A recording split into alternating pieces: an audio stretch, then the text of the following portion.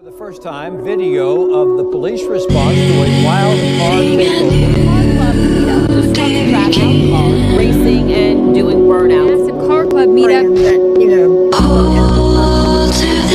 People are seen in the street about cars did burnouts and donuts in the road. Shows a police helicopter Locked in my room, four black walls, tied the noose, no report, no result. Fuck with drop, rather shoot up till I fall.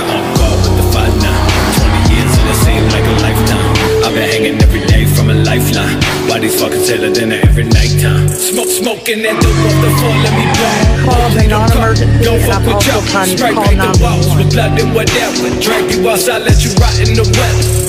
I don't think I can explain any better. I'm scared from the terror and live for the lesson.